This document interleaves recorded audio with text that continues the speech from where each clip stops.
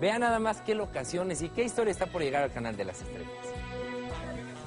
El claquetazo de Abismo de Pasión se convirtió en una fiesta, donde la gobernadora del estado de Yucatán, Ivonne Ortega Pacheco, compartió con el elenco y la producción de la telenovela en la ciudad de Mérida.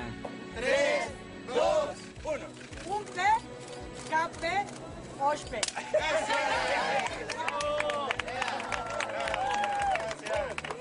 Angelique Boyer y David Cepeda disfrutan las bondades de Yucatán.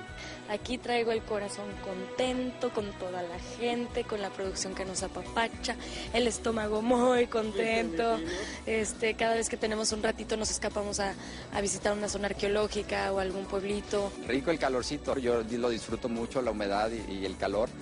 Eh, vengo de Estados Unidos de estar en Las Vegas ayer y el frío era horrible, entonces estoy, estoy feliz y sobre todo con el calor de la gente. Y el campo yucateco será un protagonista más del melodrama. Eh, las locaciones que hemos tenido en los campos de chiles habaneros son increíbles. Uno no se imagina absolutamente nada de lo que de lo que sucede con todo el cultivo de este fruto mexicano. Amor, romance, intrigas y acción darán vida a este abismo de pasión que inicia transmisiones el 16 de enero del 2012.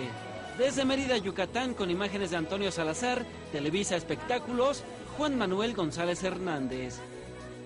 Un abrazo muy grande a todos nuestros amigos de Yucatán. Cambiando